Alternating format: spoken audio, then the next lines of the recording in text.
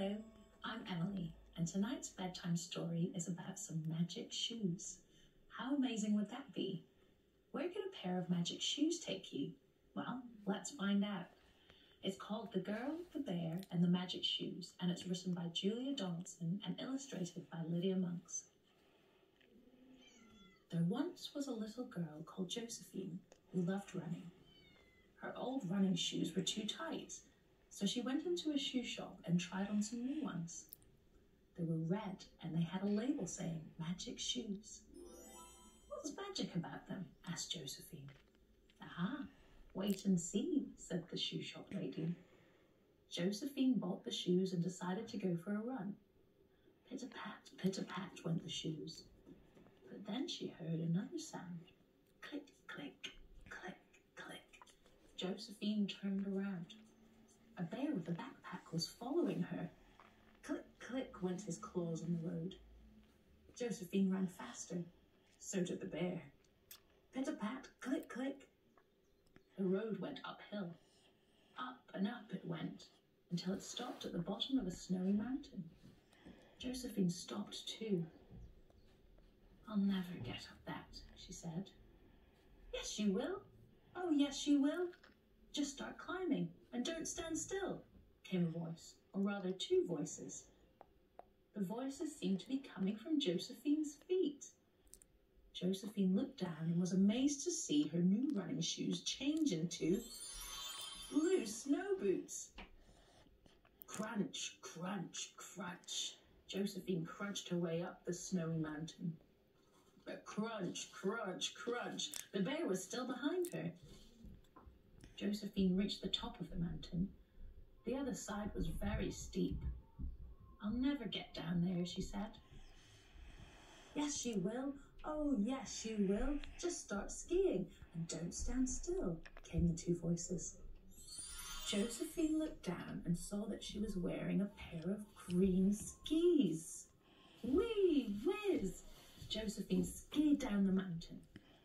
Wee whiz behind her, the bear was sliding down on his bottom.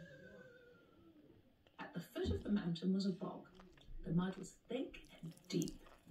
I'll never get through this, said Josephine. Yes, you will. Oh, yes, you will. Just start squelching and don't stand still, came the two voices. And the skis turned into yellow wellies. Squelch, squelch, squelch. Josephine squelched through the bog.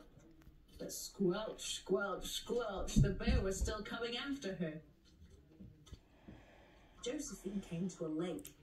I'll never get across, she said. Yes, you will. Oh, yes, you will. Just start swimming and don't stand still, came the voices again.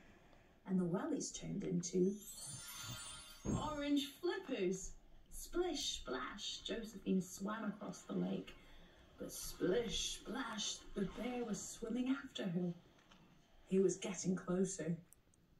I'm getting too tired to swim, thought Josephine. But then she came to an island in the middle of the lake. Josephine waded out of the water. She kicked off her flippers and climbed up a tree. The bear climbed out and stood at the bottom of the tree. Come down, he called. But you'll eat me, said Josephine. No, I won't, said the bear. Then why were you chasing me? asked Josephine. I was chasing you because you left your old shoes behind in the shop, said the bear. The shoe shop lady asked me to give them back to you, and he took them out of his backpack. Josephine climbed down the tree. Thank you, she said. But what were you doing in the shop? Bears don't need shoes, do they? Oh, that was a mistake, said the bear. I didn't mean to go into the shoe shop. I meant to go into the fish shop next door. Then the flippers left. Ha ha ha! Ho ho ho! Time for a dance now, off you go. And they turned into a pair of pink dancing shoes. Josephine put the dancing shoes on, and she and the bear danced all around the island. Until it was time to splash, squelch, crunch, whiz, and run all the way home. Wow, they really were magic shoes, and what adventures they took the girl on. And how lovely that the bear and the girl end up as friends. It shows sometimes things we think we should be scared of can actually end up bringing us a lot of joy. I hope you enjoyed tonight's bedtime story. It's now time to snuggle down and go to sleep. Good night.